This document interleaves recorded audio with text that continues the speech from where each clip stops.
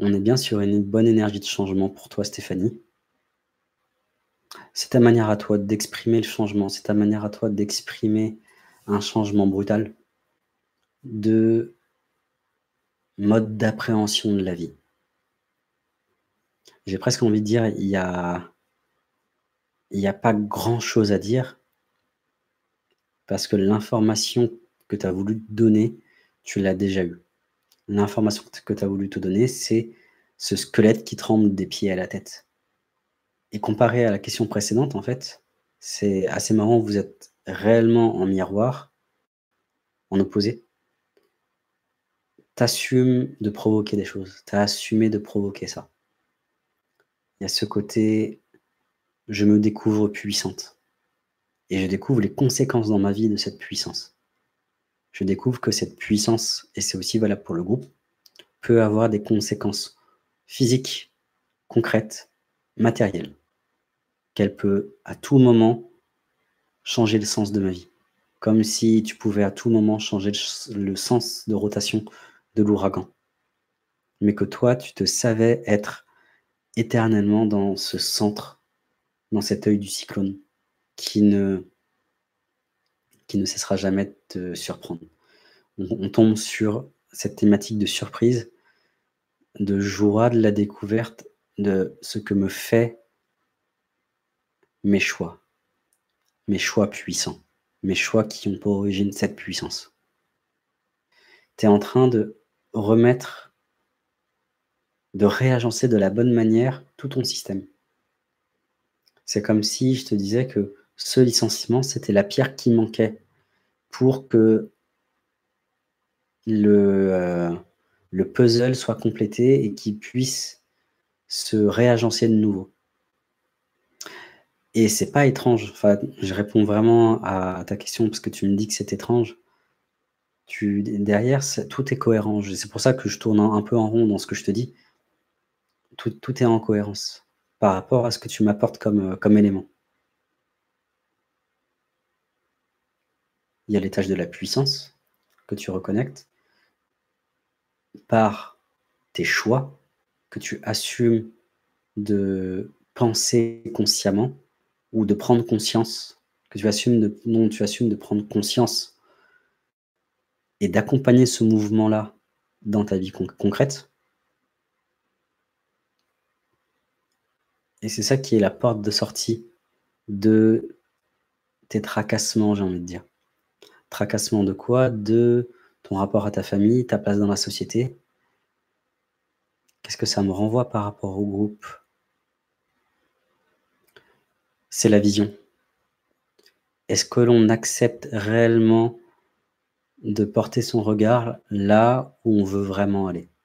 Même si on ne sait pas là où on veut aller c'est-à-dire en utilisant l'instinct primaire, primordial, primitif, qui nous permet de savoir les choses sans les savoir intellectuellement, de vibrer les choses sans pouvoir en parler. Mais c'est pas parce qu'on ne peut pas en parler que c'est pas là.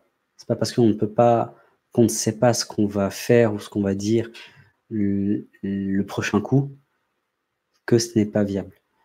Donc, il est question vraiment de confiance dans ce système d'instinct primitif pour qui, est cette vision? C'est lui la paire de lunettes, ou plutôt la, paire de jumelles qui nous permet de voir au loin. Et c'est pour ça que Stéphanie raisonnait et me renvoyait comme information surprise, parce qu'en se laissant pleinement guidé par l'instinct, on s'ouvre à la joie dans la vie. Pourquoi? Parce que on va sur un chemin qu'on ne connaît pas et que l'on va découvrir au fur et à mesure. Au lieu de, penser un chemin intellectuellement, comme si on, en écrivait ou on, en dessinait le plan, et ensuite on parcourt ce plan-là que l'on connaît déjà par cœur. Forcément, la vie est morne. Et là, voilà ce que nous apporte Stéphanie. Et voilà ce que me renvoie le groupe, c'est qu'on est vraiment au clair par rapport à ça. On a, il y a une acceptation, alors une certaine dose d'acceptation de laisser notre instinct nous guider pour pouvoir s'ouvrir aux surprises et à la joie de la vie. Par contre, dans l'étage du dessous, euh, dans le niveau d'existence, le niveau de conscience du dessous, on a un problème avec, euh, un problème avec Dieu. Ah, les problèmes avec Dieu, c'est? Le problème avec Dieu, qu'est-ce que c'est?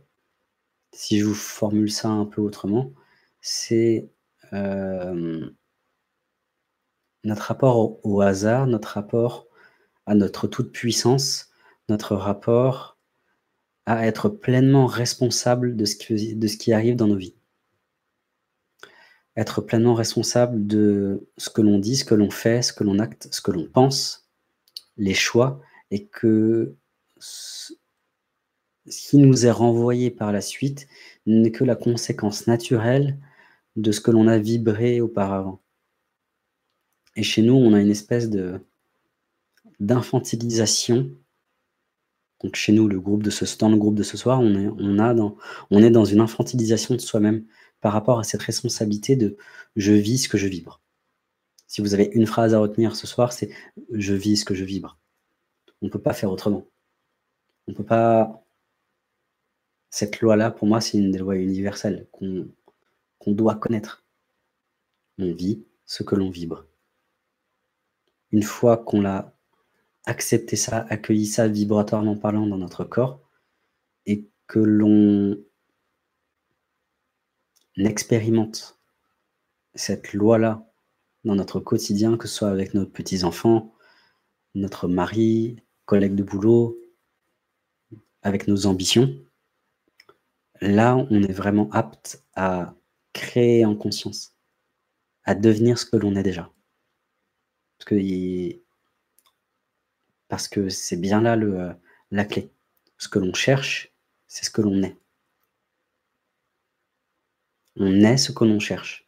Tout ce que vous cherchez comme but dans vos vies, vous l'êtes. Vous ne pouvez pas chercher quelque chose que vous ne connaissez pas déjà, même si vous n'en avez pas conscience.